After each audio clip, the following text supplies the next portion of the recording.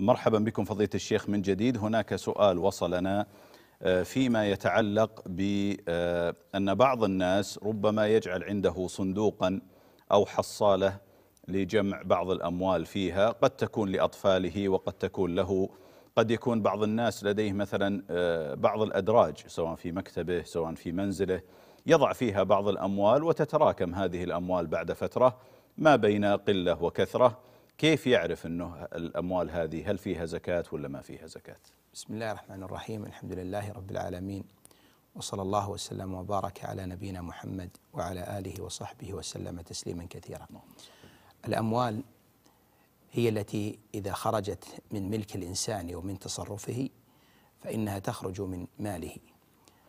أما الحصالة أو الصندوق الذي يضع فيها المكلف بعض الأموال بحيث أنه متى ما وجد فقيرا أخرج هذا المال منه فإنها لم تكن بعد خرجت من ملكه. فإنها لم تكن بعد وقد خرجت من ملكه. وعلى هذا فإنها إذا حال عليها الحول وهي ما زالت موجودة فإنه يجب عليه أن يزكيها أيضا لأنها لم تخرج من ملكه بعد. ومثله مثل ما لو قال إنسان هذا المال سوف أتصدق به أو سأتصدق به وهو ما زال معه. فإنه لا يلزمه أن يتصدق لأن هذا وعد. وإن كان بعض أهل العلم كره من الإنسان إذا نوى فعل الخير أو صرح بفعل الخير أن يمنعه لأن ذلك ربما يكون داخلا ومنهم من يبخل ومن يبخل فإنما يبخل عن نفسه. لكن هذا ليس على سبيل الوجوب وإنما هو على سبيل الاستحباب. وعلى هذا فالقاعدة في هذا أن المال إذا خرج من ملكه وخروجه من ملكه أن يخرج من يده وتصرفه أو من أنها لا تعود عليه بعد ذلك. ومثله مثل الصناديق العائلية التي يتبرع كل إنسان منهم بمال.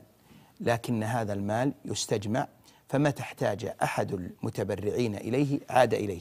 فهذا يجب فيه الزكاة. لأنه لم يتخلص من ملك المالك بعد وفيه شائبة ملكية. فمتى كان فيه شائبة ملكية للمكلف فإنه يجب فيه الزكاة إذا حال عليه الحول.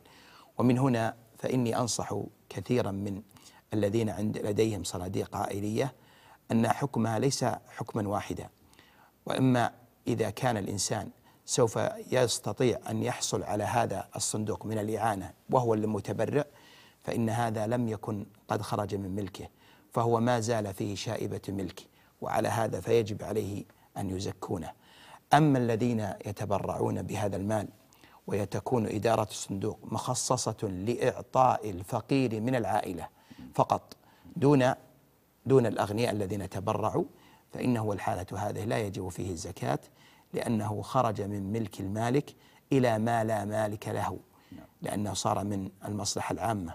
وبهذا يفرق بين المسألتين.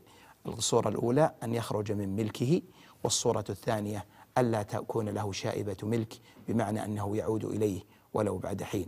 فإن عاد إليه ولو بعد حين فيجب عليه أن يزكيه والله أعلم. آه، نكمل ما يتعلق بالسؤال الأول فيما يتعلق مثلا بحصالات الأطفال وغيرها. هل تكون ضمن آه، مال الأب أو يعني يضمها إلى ماله ثم يجمع المجموع ويزكي عنه أو أن حصالات الأطفال خاصة بهم وإذا بلغت نصاب يزكون عنها أو إذا كان الأب يضع صندوقا لكل ولد من أولاده وجعله في ملكه فإن هذا الملك يكون للابن. فمتى حال عليه الحول وبلغ نصابا فإنه يزكيه عنه. لأن عامة أهل العلم خلافا للحنفية أنهم يرون أن المال يجب من باب خطاب الوضع. بمعنى أنه متى ما بلغ نصابا وحال عليه الحول فإنه يزكى سواء كان مالكه عاقلا أم غير عاقل صغيرا أم غير صغير. وهذا هو الذي عليه عامة أهل العلم لما صح عن عمر رضي الله عنه أنه قال اتجروا بمال اليتيم لا تأكله الصدقة فدل ذلك على أن مال اليتيم الصغير فإنه يجب أن يزكى إذا حال عليه الحول وبلغ نصابا نعم.